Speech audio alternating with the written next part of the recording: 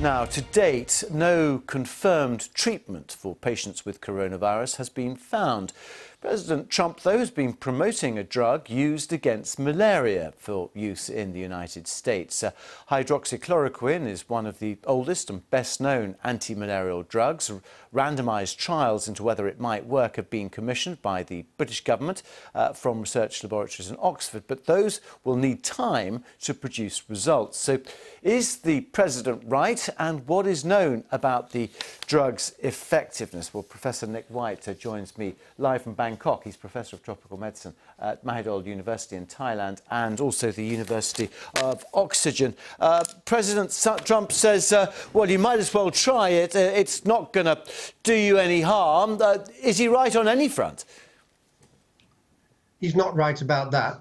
Uh, we really do not know whether chloroquine or hydroxychloroquine are beneficial or indeed harmful obviously we wouldn't be doing the trials if we didn't think there was some chance that they would work.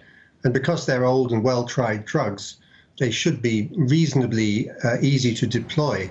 But at this stage, the honest answer is we really don't know. And the only way to find out is through carefully conducted randomized trials. What are the signs, though, that it does work?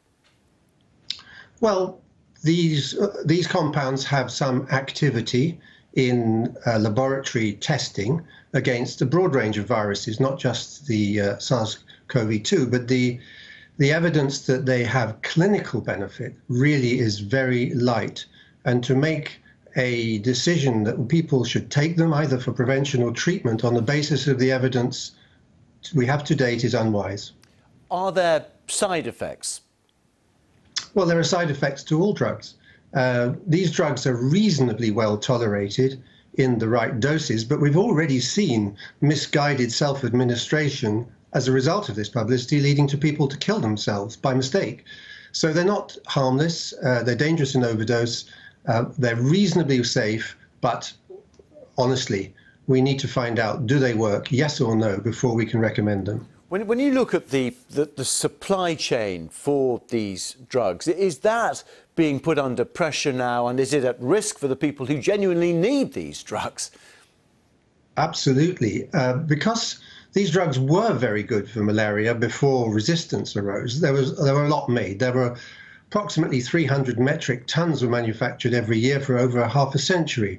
But as the drugs have fall, fallen uh, to resistance, the manufacturing's gone down. So there might, might be as little as 25 metric tons. Sounds a lot, but it's not when you spread it out across the whole world. So we would need to ramp up back to those malaria levels where we to be able to supply it to everybody. So there is certainly a problem of supply, and that's affecting the people who need it today.